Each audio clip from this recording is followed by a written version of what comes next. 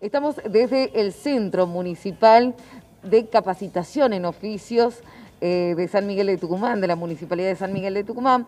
Vamos a hablar con Sergio Gómez, quien es subsecretario de Políticas eh, Comunitarias, para que nos explique un poco, bueno, cómo se vino trabajando durante este año que ha sido sin duda extraño y sobre todo atípico para muchas actividades que se vieron también en algún punto eh, suspendidas, ¿no? Pero bueno, vamos a hablar aquí, como lo decíamos, con Sergio Gómez. Bueno, ¿cómo subsecretario han estado trabajando? Porque sabemos que ha sido un año bastante difícil en este sentido, pero bueno, ustedes le han buscado la vuelta también y han implementado otro mecanismo para eh, capacitar a, aquellos que están interesados, ¿no? Así es, buenos días a todos, al piso, a mis amigos que están en el piso. Gracias por estar acá en el Centro de Capacitación Municipal en Oficios. Esto es eh, parte de la Subsecretaría de Políticas Comunitarias, como vos decís, nos tocó un año bastante complicado que ya se está yendo, mañana ya se va, gracias a Dios, en donde había una pandemia y nos tenemos que adaptar a eso, ¿no? Eh, la subsecretaría tiene el CEMCO, que es el Centro de Capacitación Municipal, y tiene el DIAT, que es el Dispositivo Integral de Abordaje Territorial, que se encuentra en Venezuela el 3200.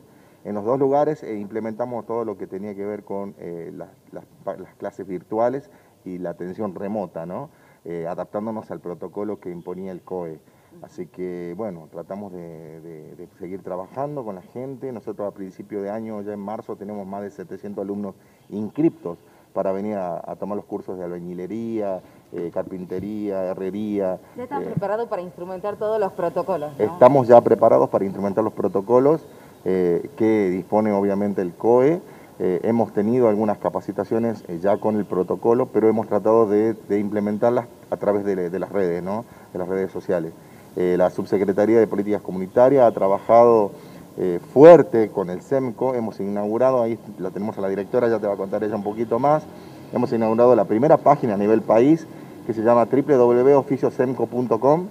Es una página de oficio en donde los egresados de este centro de capacitación eh, están en la página y la gente, viste que la gente por ahí ingresa a, los grupos preguntando, no, no ha visto un albañil, no ha visto un carpintero. Bueno, es la primera vez que la gente va a tener una página de oficios en donde la gente ingresa y directamente puede tener la foto, los teléfonos, el contacto, para saber a quién metes en tu casa también, ¿no? Así es, vamos a hablar con Mariela Amaya, quien es, bueno, la directora de este centro eh, municipal. Eh, bueno, eh, la idea es volver en marzo, pero ya con la, de clases presenciales, algo que se vio interrumpido. Sí, bueno, la idea es esa, vamos a ver cómo evoluciona todo esto de la pandemia. La idea es que en marzo ya volvamos de nuevo con los talleres presenciales, Acá hemos tenido, no hemos podido hacer este año porque años anteriores hemos tenido 1.500 alumnos en los distintos turnos y en los distintos talleres que tuvimos, así que bueno, no se podía tener esa cantidad de, gente acá presencial. Pero van a tratar de instrumentar con los protocolos las clases que sean eh, una cantidad mínima de alumnos para tratar de seguir cuidando. Claro, vamos a implementar, bueno, según el COE nos permitía entre 10 y 15 alumnos por, por taller este año, así que bueno, vamos a implementar eso, vamos a ir viendo cómo se va trabajando el año que viene y vamos a ver cómo, cómo llegamos con, en marzo. ¿Qué pasa con, con aquellos que estuvieron este año eh, tomando clases mediante Zoom? Eh, van a continuar con prácticas? ¿Cómo se, se, continúa en este proceso?